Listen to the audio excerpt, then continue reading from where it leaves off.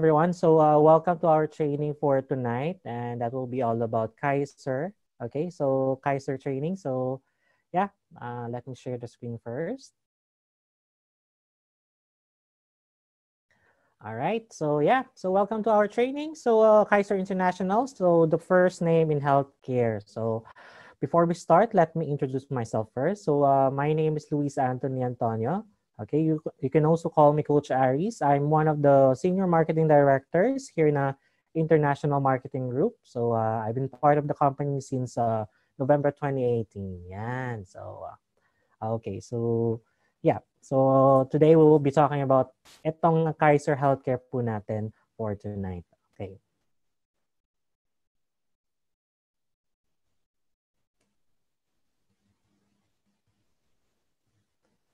Okay.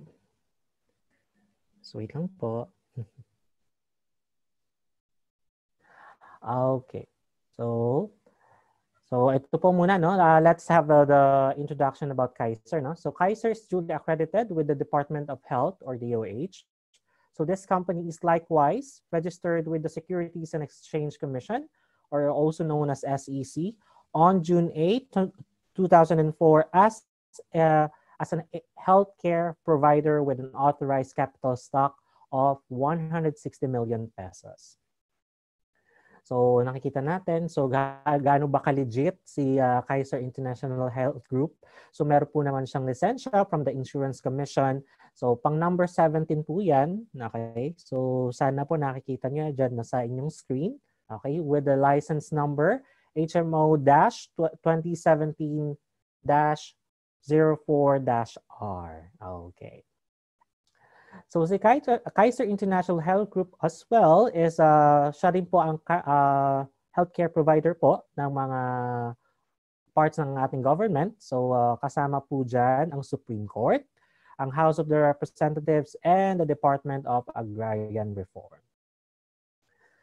So si Kaiser, okay, Kaiser Board of Directors are seasoned expert in the medical field services and in the healthcare industry with its president and medical director, Dr. Leia Uy Yolo. So assess, a seasoned uh, HMO executive and prominent doctor.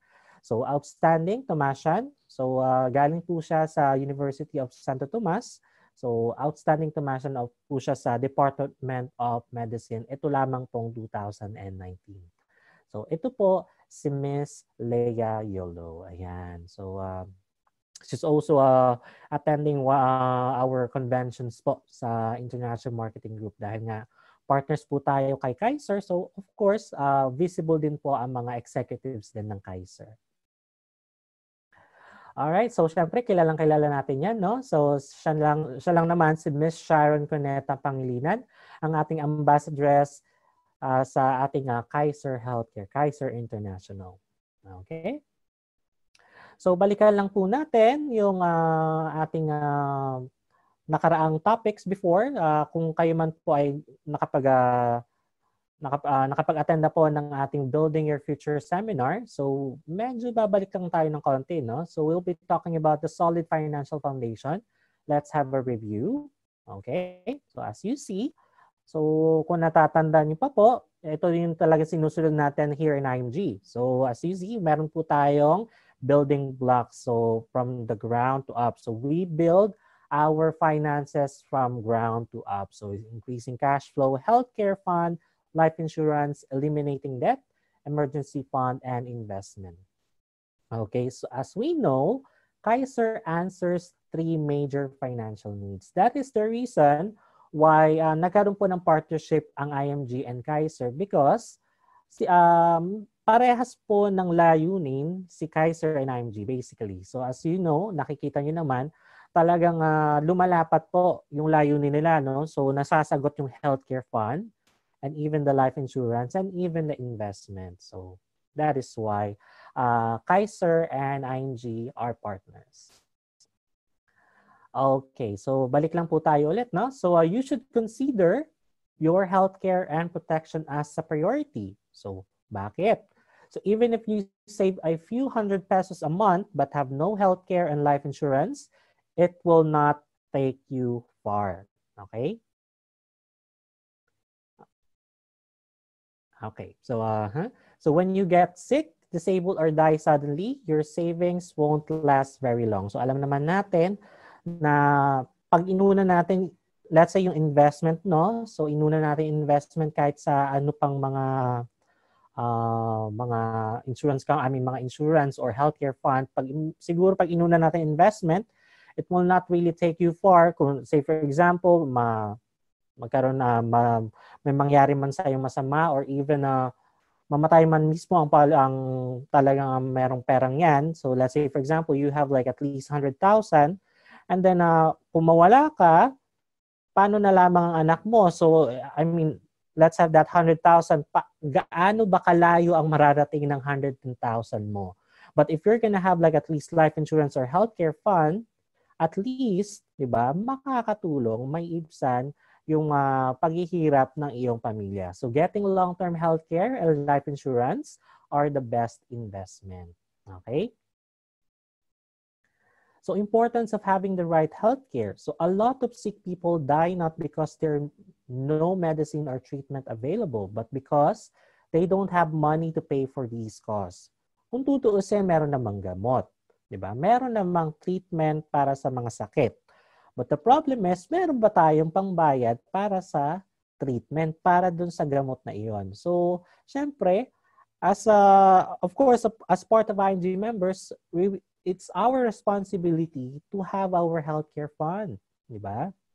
So, yun lang dapat inuuna natin, no? To have our healthcare, prioritize our health. Yan. So, kaya here in IMG, mas inuuna natin ang ating health. Okay, so I we have a graph here. So as you can see, meron diyang mga stages, no? So meron diyang number 1, 2, and 3. So number 1, of course, that's the school years until the age of 21. So hindi pa naman tayo dyan na nag-work, basically.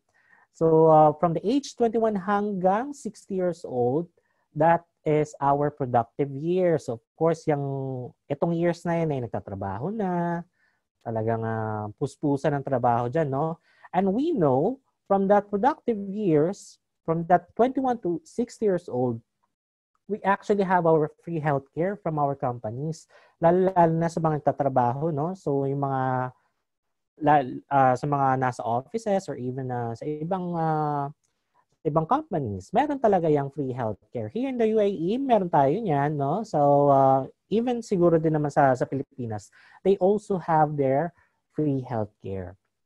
But the the problem is, after ba nitong stage 3 na to, and that is the retirement, okay, doon naman, kumbaga pagkatapos ng trabaho, pagkatapos ng productive years, okay, so how about the 60 beyond. So, anong nangyayari? Wala tayong healthcare coverage. Kadalasan sa mga Pilipino, nagtrabaho na sa napakatagal na panahon, wala naman na silang coverage. Because usually, ang iniisip, uh, nandyan ang gobyerno, di ba? Andyan ang anak, andyan ang uh, kahit ano-anong mga pwedeng sumuporta sa kanila. But of course, from this time, I mean, uh, from this, uh, kumbaga, itong panahon na to, kailangan pala mas napag-iigihan natin na mayroon pala tayo dapat na retirement fund at mayroon dapat tayong healthcare fund for that. Okay? So of course, alam naman natin for that free healthcare from our company, kayang-kayang ma-provide yan even in the very good room, ano, very good services. But after that, like from 60 beyond, of course, 'di ba? Kung hindi natin mapaghanda ng healthcare, dito tayo babaks, dito tayo babagsak. And of course, ayaw natin 'yan. We don't want in this situation. Eh paano nalaman kung COVID-19 'yan? Paano nalaman kung uh, pandemya 'yan, 'di ba? So ano napakahirap if you are in this situation. All right, so Kaiser International Health Group Incorporated offers a one-of-a-kind HMO product, the Ultimate Kaiser Health Builder. So a 7-year paying and 13-year waiting plan. So ito po yung magiging topic natin for for today, for tonight. So the Ultimate Kaiser Health Builder. So designed to provide healthcare beyond that of an HMO, allows individuals to save during employment while still being covered by company's health plan. Say for example, sa akin, no? So, I'm actually covered by uh, Kaiser International, di ba? So, uh, I'm still here abroad. We're still here abroad, but pinaghahandaan na natin yung healthcare natin uh, para na sa ganun, matapos man trabaho ko rito here in Dubai, pag uwi ka ng Pilipinas, I will still have the Kaiser. So yun yung yun yung dapat natin na paghahandaan, di ba? Save during employment.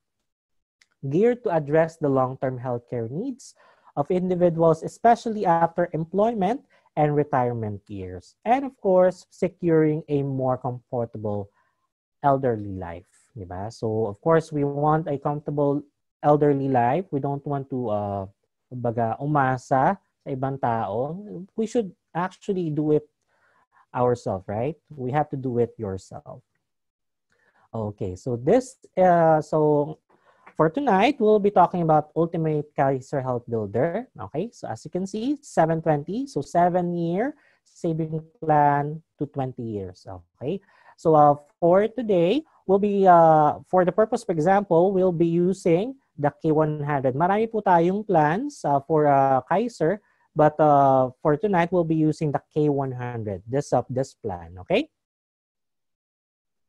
Okay, as we know, we, uh, we also have our payment methods. So uh, we also have our spot cash, okay, annual installment, okay, so uh, semi-annual, quarterly, and monthly, okay. So meron tayong limang options how to pay.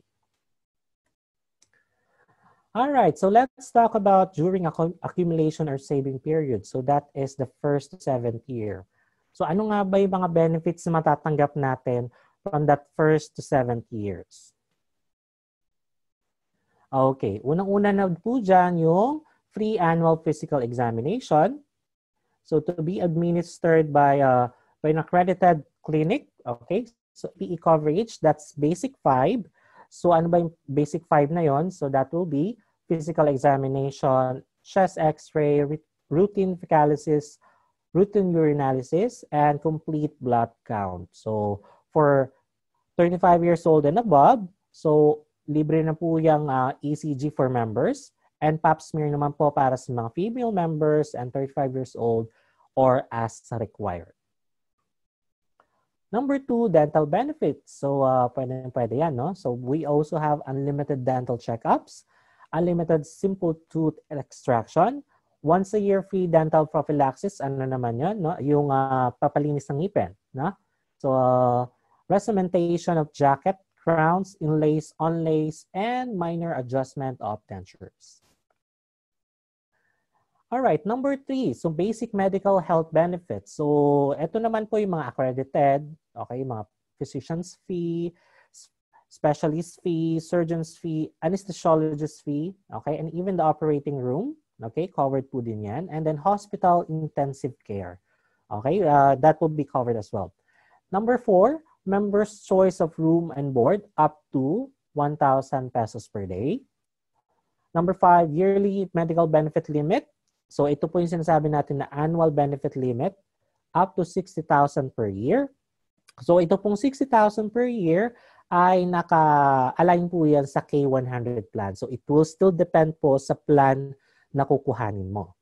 So that's 60,000 per year after full payment of the first year of the total premium. So note, the above provisions 1, 2, and 3 can be availed of after full payment of the first year of the total premium. So ibig sabihin, kailangan nabayaran mo ng first year, okay, first year ng payment bago po natin mag magamit yung uh, uh, itong ating uh, how can I say, itong ating uh, benefit, okay? So kung nabayaran na po yan ng annual, so wala na pong problema, you can avail it. But uh, if you're doing monthly or quarterly, so kailangan po muna matapos ang one year, then you can avail it. Okay?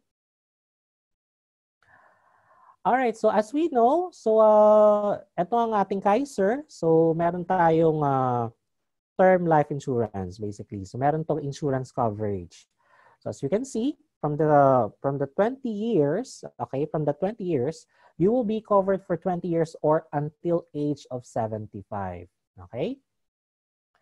As you can see, meron po tayong long-term care benefit and long-term care bonus. Paano naman to? Long-term care benefit, that will be 100,000. Base po yan sa plan na kinuha mo. That's K100. So of course, 100 stands for 100,000. So guaranteed, you will have 100,000 pesos. Okay? So if that is uh, for term life insurance, okay? Whenever the, the policy holder uh, dies, okay? Long-term long-term care bonus, that will be 350,000. Saan naman po nakuha tong 350,000 na to? So 350,000 from the in the event na hindi po uh, nagamit from the first year hanggang seventh years ang annual benefit limit, okay, from the K100, the 60,000, kung hindi po nagamit yan every year, yung uh, seven years na yan, so 85% ng yung contract price, the contract price of uh, K100 is 411,000. So 85% of it, that's 350,000. Okay? So yun po ang maibibigay na long-term care bonus. Okay? For a total of 450,000 pesos. If this is natural death, I, I hope this, uh, this is clear to you guys. Okay? Paano naman po kung accidental death? Paano naman po kung, uh, kung namatay through accident? Okay? Double po yan. So times 2, that will be 450,000 as well. So for a total of 900,000 pesos. All right, so let's talk about this one. So term life insurance coverage. So if the member dies before attaining the age of 75 years and prior to this entitlement to the long-term care benefit as indicated in the schedule of benefit or SOB, his beneficiary shall be entitled to an account uh, to, to an amount equal to the sum of long-term care benefit and long-term care bonus upon approval of the claim by the insurance company. Alright, how about accidental death? Ito nga yung sinasabi natin kung paano nalaman kung uh, naksidente, okay? Accidental death or dismemberment. Paano naman kung hindi hindi nga namatay but uh, may nangyari, kumbaga naputulan ng kamay, naputulan ng paa. So meron din pong uh, coverage yan, no? So should the member suffer directly and independently of all other causes, any bodily injury affected solely through external, violent, and accidental mean occurring prior to the member's 75th, 75th birthday and prior to the entitlement to the long-term care benefit, which result in any of the speci specified losses within 180 days after the accident causing the injury the insurance company will pay the following. So yan po yan, na. So loss of both hands, 100%. So ayan, both feet, 100. So meron din po yung classification kung uh, kung talaga entitled po talaga, no? All right. So how about waiver of installment due to death or credit life? So ibig sabihin, let's say kung hindi pa tapos yung pagbabayad ng uh, ng plan, but uh, namatay na po si policyholder. What happens? If the member during the accumulation period and before exceeding the age of 75, the proceeds of the credit life insurance shall be applied to the balance of this contract price upon approval of the claim by the insurance company, if any. The difference, if any, shall be paid to this designated beneficiary. So, ibig sabihin po, si beneficiary, okay, so mamatay man po si uh, policy holder, wala na pong babayaran si beneficiary. Ang mangyari na lamang po kung ano man po ang balance, okay, from that uh, contract price, kung ano man po ang hindi pa nababayaran ni policy holder, yun na po ang i-cover ng term life insurance. And the difference, yun po ang maipibigay sa ating beneficiary. Okay, say for example, kung 6 uh, years na po siyang nagbabayad, and then namatay po siya on the sixth year. So kung anong po yung uh, one year na hindi pa nababayaran, yun na po ay cover ng term life insurance. And then yung the remaining po may bibigay na sa ating beneficiary. I hope that is clear. Number nine, waiver of installment and premiums due to the total and permanent disability. So let's say uh, hindi nga namatay, pero uh, kumbaga disabled naman, no? So kumbaga hindi na po kayang uh, mag-produce ng income kasi nga po ay talang disabled na, hindi na po maka siguro hindi na makagalaw or something. Okay? So, uh, disabled na hindi na po kayang uh, mag-produce ng income. So, it means say, hindi na rin po niya kaya makapag-save, basically. Okay? If the member becomes totally disabled during the accumulation period and on or before his or her 75th birthday, thereby preventing him from engaging in any occupation or comp- for compensation at profit, is so disabled for life. And such disability continues for at least six months. Take note, that is six months. Kaiser shall waive the payment of each installment becoming due during the life and such disability. However, pending approval of the claim, installments should be paid as they fall due subject to refund upon approval. So, yun po yan, ha? Number 10, Family Assistance Service. So, syempre, marami rin po nag, uh, nagtatanong sa atin, pwede ko po bang ipagamit to sa sa kapamilya ko, kumbaga sa sa anak ko, sa asawa ko. So, pwede naman po, no? Pwede naman po siyang paggamit. But of course, as we always say, uh, Kaiser, uh, Ultimate Kaiser Health Builder is uh, really intended for for us, for us na mga breadwinners, di ba? So, syempre, it's really a personal. Kumbaga, pang sa iyo talaga yan. But uh, of course, syempre, gusto rin naman natin ma matulungan yung ating pamilya. That's why Kaiser is offering this kind of assistance. Okay? Take note, this is not a, uh, a benefit, but it's only an assistance. Okay, let's uh, let me read this one.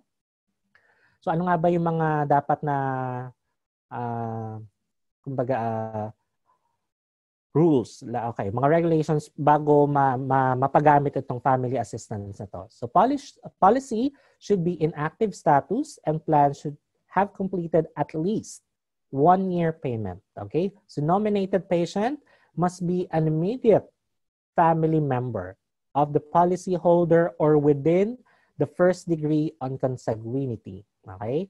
So policyholder agrees to avail only of the services of Kaiser's accredited doctors and affiliated network of hospitals. Okay? So still, kailangan nasa accredited doctors pa rin and affiliated network pa rin po. So assistance to be provided by Kaiser shall only be to the extent of the allowable benefits due to the plan holder to the plan holder under his policy. So kung ano man po ay may cover nung policy ni uh, ni policy holder, yun lang po din yung may cover doon po sa, sa patient. Okay? Prior to discharge of the nominated patient, payment should have been settled to Kaiser. So Kaiser's approval to avail of such assistance must first be obtained by the member and the issuance of LOA will be given. So ito, ito yung sinasabi natin na note, no? Please note that this assistance is an accommodation and not considered a benefit. This is not a benefit of the plan. So hence approval and denial on the ailment solely depends on Kaiser management evaluation.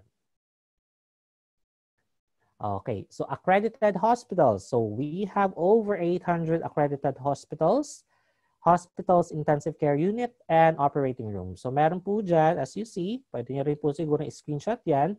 Yan po yung uh, website wherein you can actually check yung mga hospitals na malapit siguro sa inyong place, no? So, uh, say for example, sa amin, sa Olonga po, sa, sa Subic, meron pong medyo malapit dun sa amin. So, I also check that. So, sa inyo rin, I, I guess so, uh, meron din po mga malalapit na uh, hospital na, na accredited by Kaiser. So, we also, uh, Kaiser also has a special extended benefits. So, magnetic resonance imaging or MRI nuclear or radioactive isotope scan, CT scan, dialysis, and blood transfusion, and the like. So marami pa po yung iba. All right, so uh, that uh, that uh, that is the first to seventh year. Paano naman yung 8 to 20th year? So ibig sabihin tapos na po yung pag-iipon, di ba? Tapos na yung uh, kumbaga yung yung mismong 7 years na pag-iipon. So how about the extended period? Ano naman nangyayari dun sa perang pinaghirapan mo, no? So from 8th year to 20th year. So let's talk about that. All right, so here are the benefits. So uh, let me read this one first and then we'll be talking about yung uh, sa, sa mga susunod po na slide. Okay, so uh, let me read this one first. So long-term care benefit value. So ito po ay LTC-BV. So guaranteed health benefits as shown in the schedule of benefits which can be used at the end of the 20th year as part of the ho hospital benefit limit or HBL until fully utilized or can be converted into cash on the 20th year. Yearly health care hospital benefit limit. Okay, so 10% of the long-term care benefit value earned starting from the end of the accumulation period and every year thereafter up to the 20th year.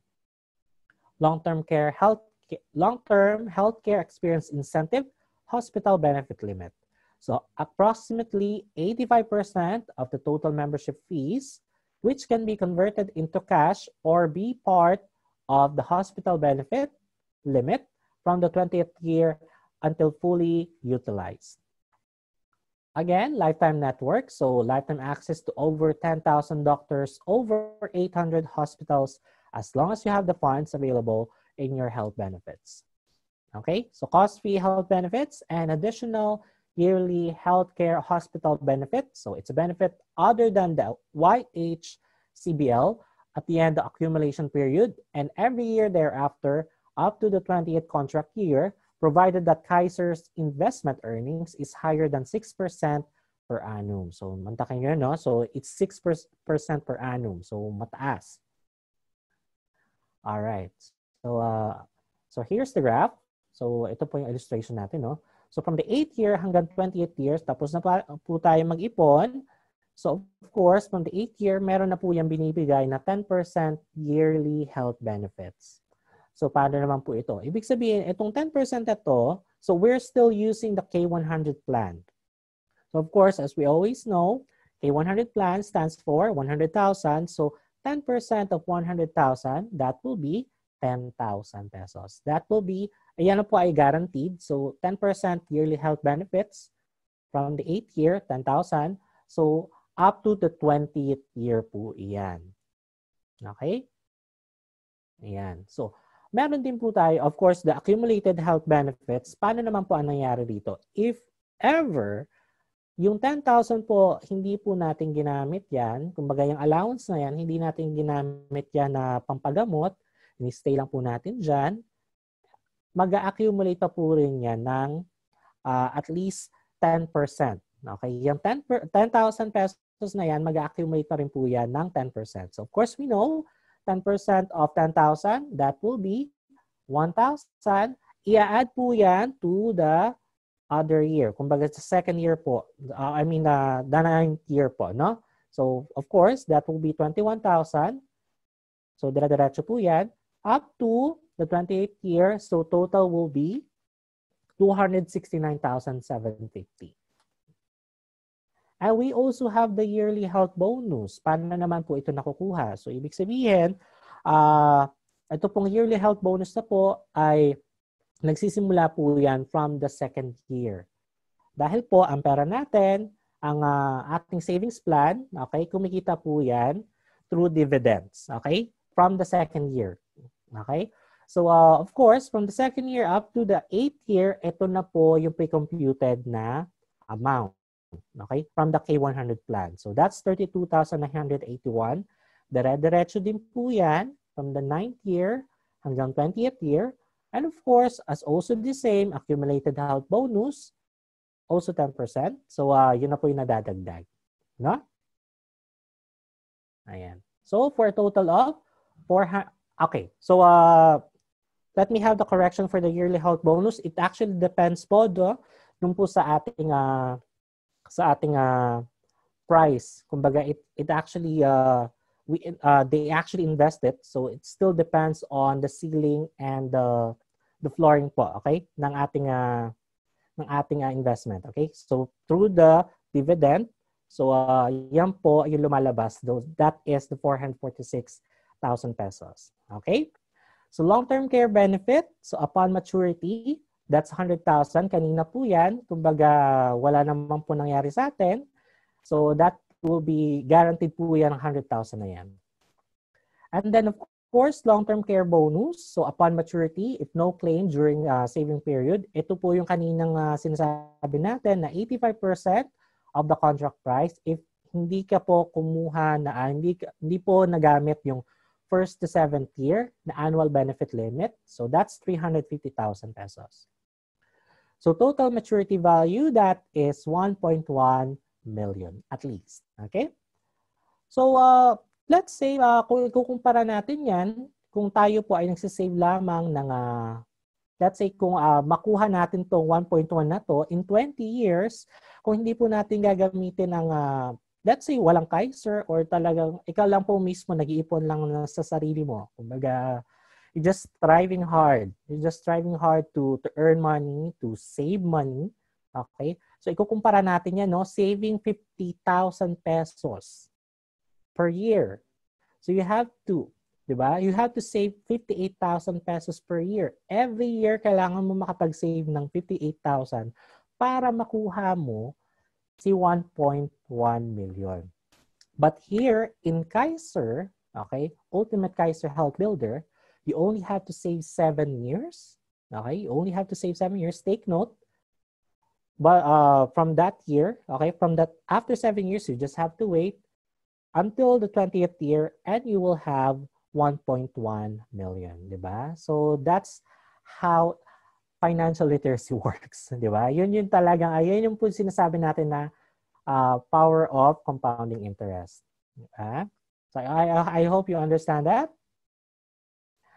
Okay. Ito pong, uh, of course, we know that the extended period, kasama na po dyan ang pre-existing medical condition.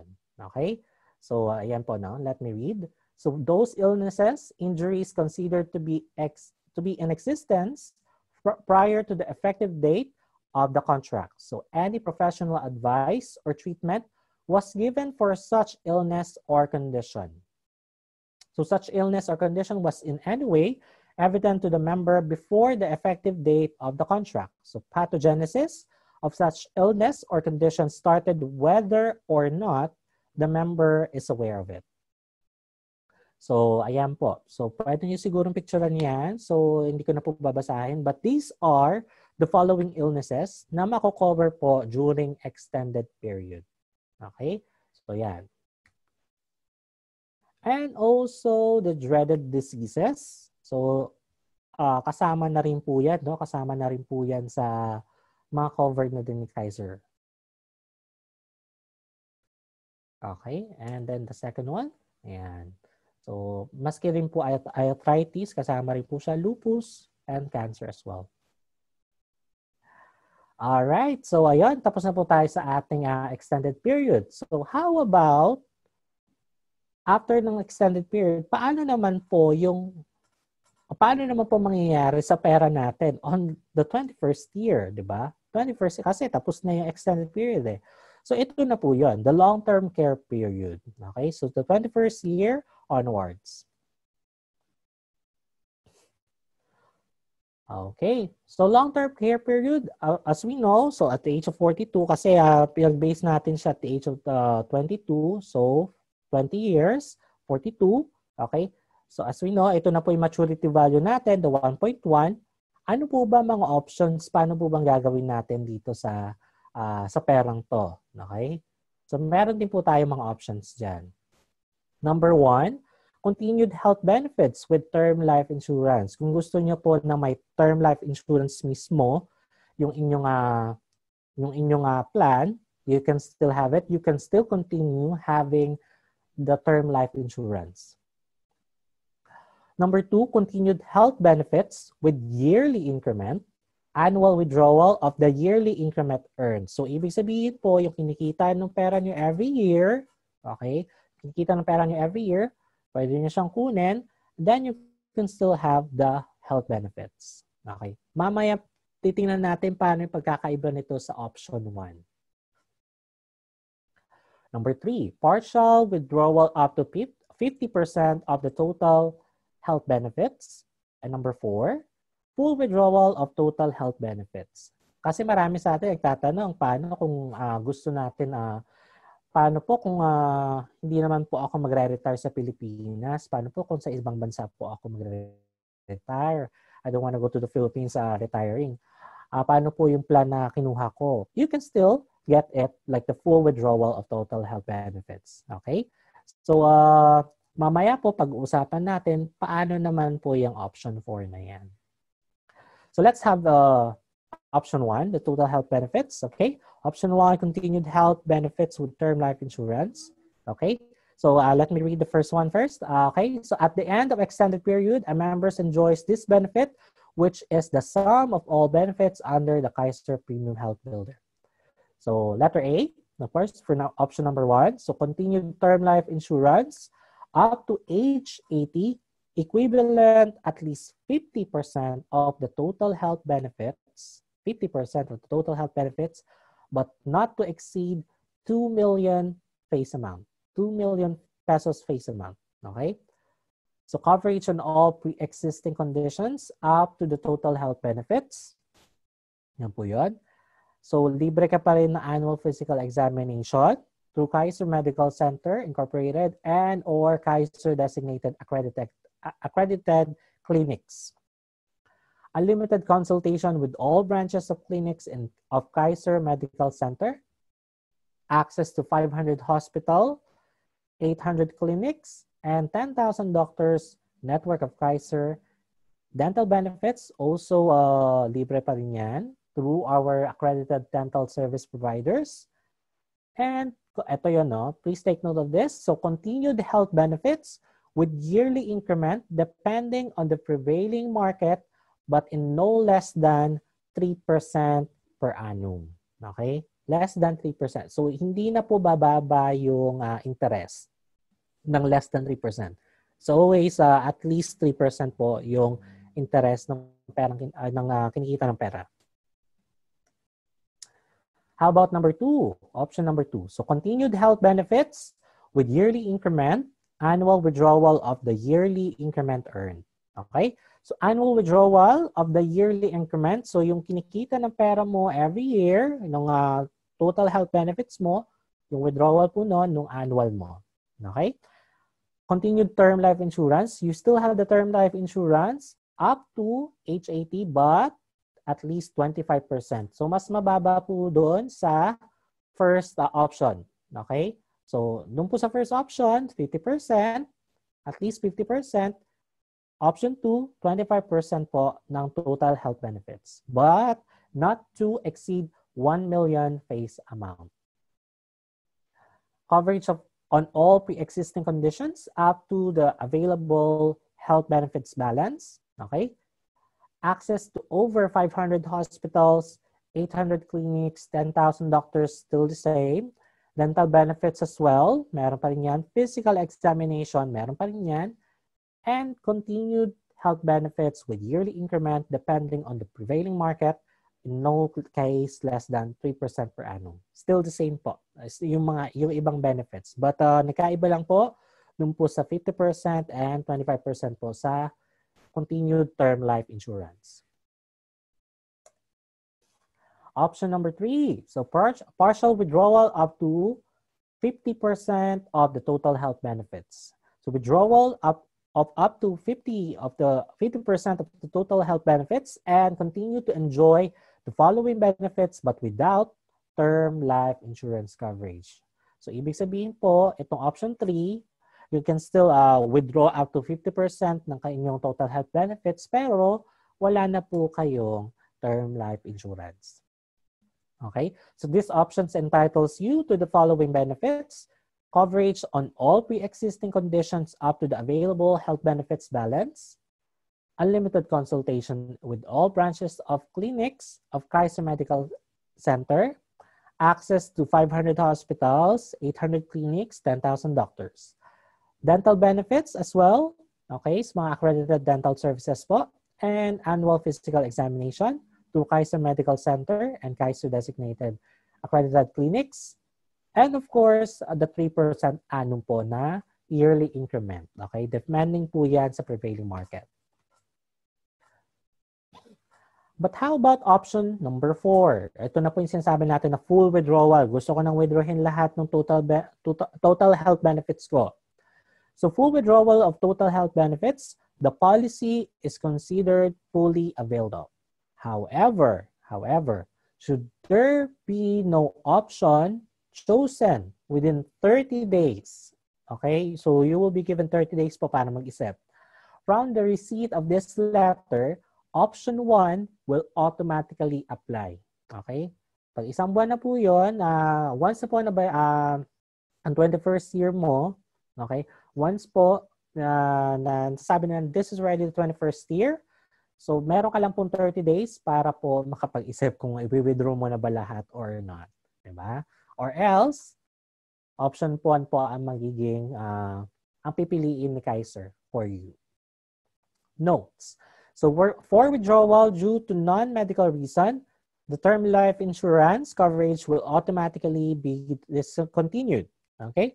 So Kaiser reserves the right to discontinue the health benefits and return all available unused health funds to the member at any time without notice.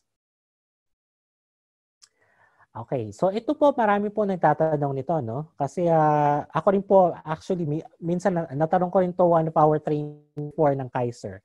So saan nga po ba nilalagay? Saan po ba na-allocate yung funds ni Kaiser? Okay? So here it is. So at least 51% of payments made by plan holders automatically goes to a trust fund as required by the government. Required po talaga siya ng ating gobyerno. Kaiser cannot touch this trust fund. It is reserved for the future claims by the plan holders. Kaiser Trust Funds are managed okay, by two international banks. So, uh, yun po yung sinasabi natin na ING Bank, sa Netherlands po yan, and a Deutsche Bank, so sa Germany naman po. Okay? And the 49% goes to the investment portion of which is managed by Soldivo funds. Okay? Yun po yung uh, kung saan po nalalagay yung pera. Ayan. So, uh, itong mong uh, picture na to is actually uh, the schedule of benefits. When you're, once you're already a policy holder of Kaiser, you'll be having the schedule of benefits. Mapa, uh, makikita po natin yan sa ating uh, portal, sa ating OPMS. Okay? So, um, meron po yan sa ating... Uh, okay. Yan, sa ating OPMS. So as you can see, yung schedule of benefits natin. So, yan po. Pa- makikita niyo po dyan kung ano yung mga benefits natin. Even the yearly healthcare hospital, hospital benefits, makikita din po natin dyan. Ayan. So, yan po yung mga benefit description, amount, and then remarks. Okay, ayan. PhilHealth. So, uh, alam ko, some of you uh, asking about this, PhilHealth, and some of you galit kan sa kanya. Pero uh, discuss lang po natin siya. So, your PhilHealth benefit is integrated with Kaiser. So, once admitted, you will be advised to file your PhilHealth reimbursement form. The PhilHealth reimbursement due shall be deducted from the total hospital bills. Okay? So, Kaiser policyholders without PhilHealth me- membership shall shoulder and pay the corresponding portion of PhilHealth. Okay? So, ibig sabihin, kung hindi ka po member ng PhilHealth, kayo po ang mag-shoulder nung matitira. Nung, uh, kung ano man po ang mababayaran ni Kaiser, yung po, yung matitira po, kayo na po magbabayad if you're not a member of PhilHealth. Okay. Uh, also, this one, So, the grace period. I know uh, some of you, lalo-lalo na po yung mga nagbabayad na po ng monthly or even the the quarterly. So, some of you might be asking about this, the grace period. So, let's say, hindi ka pa makapagbayad, no? So, uh, we are also having that grace period. So, let me read. So, if payment is made after the grace period of the contract shall be considered lapse. However, the owner shall be given a grace period of 30 days or one month to pay the due installment. Benefits may be provided to the member only after the due installment is paid. So, ibig sabihin, so kung uh, hindi ka nakapagbayad mismo dun sa due date mo, hindi pa po yung considered lapse. Hindi pa po considered lapse ang iyong policy. So, bibigyan ka pa rin po ni Kaiser ng at least 30 days to pay for that uh, for that uh, due date. Okay? So, bibigyan ka lang po ng 30 days. So, hindi ka pa po lapse. So, at least, uh, medyo ano pa rin tayo, no? Medyo ligtas pa rin. But of course, we're still saying here in IMG na, of course, we still have to apply yung ating uh, solid financial foundation. Andyan po nag uh, uh, lumalabas na po si emergency fund. Kung hindi man po tayo makapagbayad on time, okay, meron po tayong mahuhugot which is our emergency fund. Because we know na pag meron po tayong emergency fund, ito po yung sumasalba sa atin na hindi at least hindi napuputol yung ating uh, pagbabayad, di ba? So review ulit 3 to 6 months of your uh, expenses or even your income, okay? Yun din po dapat yung allocation for your emergency fund.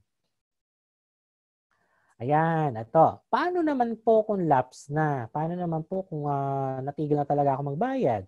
So, meron po tayong tinatawag na reinstatement. Okay? So, there are two types para po sa reinstatement. First one is updating. Okay? So member will pay the premiums due on all the missed months plus the surcharge of 1.5% per month or 8% per annum from the date of each unpaid installment. Say for example, kung uh, hindi ka po nakapagbayad ng uh, from January hanggang May, so kukwantahin lang po natin ilang months.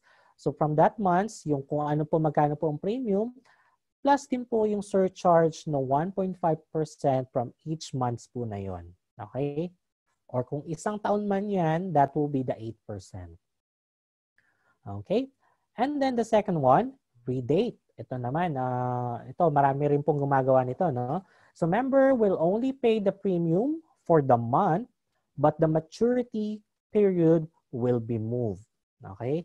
Say for example, hindi ka pa nakapagbayad ng uh, let's say uh, one, one month, let's say, nag-redate ka lang. So, ginawa mo sa binayaran mo lang yung uh, May, uh, yung month ng May, okay? But, your uh, maturity period will be moved. So, ibig sabihin, kung ang maturity period mo, kung magba-mature ang yung plan, let's say, ng May 2027, okay? So, mamumove po yan ng June 2027 because you move it like at least one month. Okay? So, ayan. So, reinstatement application form. Ayan. So, meron po yan yung mga requirements natin. So, reinstatement application form and reinstate reinstatement fee ng 300 pesos. Ayan. You can actually ask the person kung paano po yung reinstatement. Lalo na kung siguro, siguro may mga members tayo na nag, nagsasuffer tayo sa ganito, no? So, ask nyo lang po yung inyong sponsor. Ayan. So, can be done within two years of the first unpaid due date. Okay? So, two years po. At least two years yan. Kung, uh, kung medyo covered ka pa ng at least one, uh, one and a half years, pwede pa rin pong ma-reinstate ang iyong plan. But, the member shall be considered a new applicant subject to pre-existing conditions and for purposes of contestability of insurance coverage and to any other requirements for a new applicant for membership in fact at that time. So ibig sabihin kung matagal matagal na po yung hindi pa na uh, kumbaga ngayon lang niya binalikan, 'di ba? So uh, still kailangan pa rin po natin mag-comply sa ating uh, sa sa Kaiser para po mapatunayan natin na we're still okay, hindi tayo, uh, kumbaga, wala tayong pre-existing condition. So, yun po ang hahanapin sa ating Kaiser para at least mapagpatuloy po natin ang pagsisave. So, Kaiser will cancel the contract without need of notice to the owner if he fails to reinstate within the prescribed period. Ayan. So, all reinstated plan shall be subjected to the new price. So, ibig sabihin talagang um, mag-iiba pa rin yan. If, say for example, kung 39 yan, kung 39 mo siya kinuha tapos naging 41 ka na, mag-iiba na po yung iyong plan. Okay. So healthcare value. So the owner may surrender the contract for its cash value stated in the schedule of benefits provided the plan is active for at least a year. Ayan. So, ito, uh, marami, marami rin pong mga nagtatanong regarding this. No? So, transferability of Kaiser Ultimate Health Builder. Paano po ba, pwede po ba may transfer? Pwede po ba may transfer yung uh, plan ko sa iba? Okay. Is it transferable or can it be assigned? Yes, the benefits under the Kaiser Ultimate Health Builder plan may be transferred or assigned by the member provided that during his or her lifetime, the member appoints in writing the principal beneficiary who shall receive all remaining outstanding benefits under the said plan in the event of his or her death. Okay? So may lilipat lang po yan kung nai, uh, kumbaga parang nasa will po yan, no? nasa will, uh, last will and testament yan. Kumbaga, yun yung kailangan natin gawin. Okay? Para ma-transfer po natin yun. However, the Kaiser Ultimate Health Builder Plan itself cannot be sold. Take note of that. Cannot be sold, assigned, or transferred to any third party, nor payment of membership fee be assumed by said third party. So, hindi po natin pwedeng ibenta to. So, what are the benefits that can be received by the principal beneficiary? Ano po bang pwede niya matanggap? Number one, yearly, yearly healthcare benefit value, long-term care benefit value, long-term care, long-term healthcare experience incentive, additional healthcare hospital benefit limit, provided that investment earnings of the company is higher than 6% per annum. Okay? Ayan, paano naman tong upgrading of plan? Okay? So plan can be upgraded within 30 days after its effectivity date. Okay? So paano naman yan, no? So upgrading natin. So filled out amendment form, payment of processing fee of 300 pesos. Okay? Payment of additional installment corresponding to the updated plan. Okay? So yun po yung ano natin. So at least within 30 days after its effectivity date. But how about upgrading mode of payment? Ayan. So mode of payment can be upgraded anytime after completion of, the, of its respective cycle. So as still within 30 days after purchase. So filled out amendment form. So payment of additional installment due to corresponding to the amount of the updated mode of payment. So if beyond 30 days after purchase, so filled out amendment form, yun po ulit yung uh, nagawin natin. So payment of processing fee of 300 pesos and then computation of dues based on the desired mode of payment. So kailangan magkaroon din po ng computation yan. But take note, downgrading of plan and mode of payment is not allowed. Say for example, kung K100 yung inyong plan, hindi nyo po po pwedeng i-downgrade yan. Okay? So, uh, hindi nyo rin po po pwedeng, uh, kumbaga, yung mode of payment at saka yung planning nyo. Hindi nyo po po pwedeng i-downgrade yan. At least you should have, uh, upgrading lang po tayo. Okay, so how about the age eligibility? So, uh, ayan po, no? So, pwede pong makover from the age 10, okay, 10 years old hanggang 40 years old, pwede pong makakuha ng Kaiser. And the lowest plan po pwede po pwede pong makuha yan is the K45, okay? So, uh, K45, if I'm not mistaken, that is uh, 2647 per month, but still you can check uh, kung magkano yan. 41 to 50 years old, that will be K60. Okay? Yan po yung ano natin. So, I think monthly will be around 3,529 529 pesos per month. And then for 51 to 60 years old, that's K75. Okay, minimum at least 4,412 per month. So yan po yung ating uh, yung age eligibility po natin. Okay, so review lang po ulit tayo. So of course, as we know, solid financial foundation, of course, we know that Kaiser answers three major financial needs during our productive years and retirement years, diba? So as you can see, your healthcare fund natin, at least beyond age 60, life insurance for 20 years or even up to 75 years. And then investment po na at least nag-earn ng 10% per annum. Diba? Napakaganda po ng uh, ating uh, Kaiser uh, Ultimate Health Builder. So I hope like everyone uh, will be having this kasi napakaganda po ng uh, plan na to. Even me talagang ako ay talagang ito po yung talagang sinimulan ko. Kumbaga from from the very beginning ito talaga yung sinimulan kong uh, plan kasi uh, from that time medyo hirap pa ako mag-save but 'di ba? So kumbaga it, it is our first step para mas ma, ma magawa natin, magawa natin yung solid financial foundation natin. And that's it. That's it. That's the end of our uh, slide. That's the end of our training. I hope you learned something. Okay? I hope you learned something. I hope you, you uh, meron kayong bago natutunan. And I hope ma, kung sino man po ang mga new attendees dito, sana po makakuha na po kayo ng uh, inyong Kaiser Health Plan. And yeah, that uh, that ends our training. So again, this is Luis Anthony Antonio. You can also call me Coach Aries and I'm proud to be part of International Marketing Group. Maraming maraming salamat po.